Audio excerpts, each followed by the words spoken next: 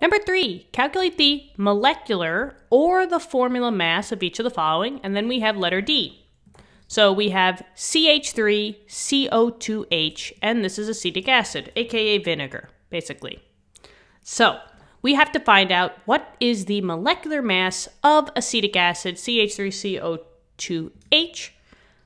And the first thing we got to do in order to find any molecular mass or any formula masses, we have to basically know how many total elements of each different type are in my compound. Now, let me first rewrite this a little bit bigger, just so that I can write more clearly for you guys.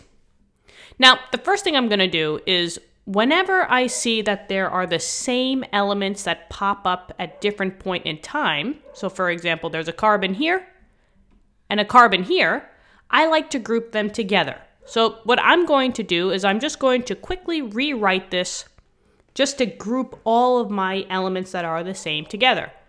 So, like we just said, we have a carbon here and a carbon here. And guys, right, C is carbon. So how many total carbons do I have?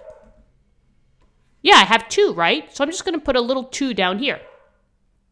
Let's group the next element that I see here. I have H's, right? And H stands for hydrogen. I have H's over here and I have H's over here. Well, how many hydrogens are on this one, right? They told me that it's H3. So I know that I have three hydrogens from here. And now how many hydrogens are here? And there was no number over here. So that signifies that there is one hydrogen. So 3 plus 1, I have a total of 4 hydrogens. So I could just say H4. And now there's only one place for the oxygen, right? O2. So I don't have to group those together. So I'll say O2. And now this makes it easier for me to find my molecular mass because all the elements and the total amounts are all together. So now what we're going to do is we're just going to list them. So I have carbon, just like I said, I had hydrogen, and I have oxygen. Now, in order to find a molecular mass, you have to find out how many total of each element you have. But we did that hard work already, right? We said that there was two carbons, right, the two here.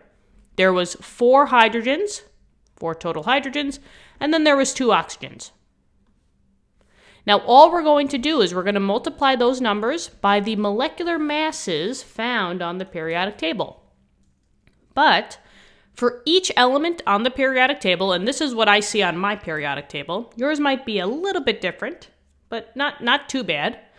Um, we have to decide which number is the mass number, right? Usually there's going to be like a big or a bigger decimal number, and then there's going to be whole numbers. The mass numbers are the decimal ones. So these are your mass numbers. So we'll say mass number. And the whole numbers, the 1, 6, and the 8, those are your atomic numbers. Those are your number of protons in each element. Now, since they're looking for a molecular mass or a formula mass, the unit uh, that I'm going to use for my mass number is going to be in AMU. AMU stands for Atomic Mass Unit. It's just the smallest unit that we could work with on the atomic scale, atomic mass unit. So I'm just going to group them together. So for carbon, the mass of one carbon is 12.01. So I'm just going to multiply how many I have by 12.01 AMU. Hydrogen is 1.008 AMU. Each hydrogen weighs 1.008, and then each oxygen weighs 16 AMU. So let's find out these numbers. 2 times 12.01 is 24.02. So that's how many total AMU is in uh, my compound of carbon. And then let's see here 4. Uh, 4 times 1.008, I get 4.032 AMU for the total amount of hydrogen. And then 2 times 16 is 32. I'll just keep the decimal there.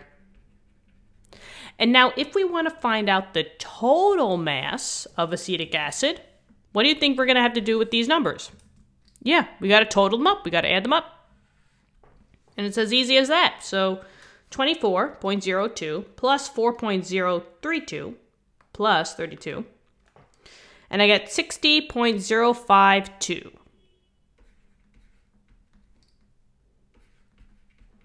Now, for sig fig purposes, if you want to keep it with the sig fig, it would just be 60.05 um, because the lowest decimal place is to the hundredths, right? So this one has two sig figs after the decimal, this has two sig figs after the decimal, and the other one has three. But for right now, I'm just going to leave it like this. Okay. And that's it. That's the total molecular mass or formula mass of acetic acid. 60.052 AMU. And that is it. Guys, what'd you think? Hopefully this helped. Subscribe to the channel if you want, you know, to be the first ones to know when we drop new videos. Um, like the video if it helped you out. Just lets me know that I'm doing my job right, and I hope I'm helping you guys out. Um, let's let's keep working hard, okay? Chem is fun. It's not hard, and I'm here every step of the way for you guys, okay? So I'll see you in the next video and have an awesome day. Bye bye.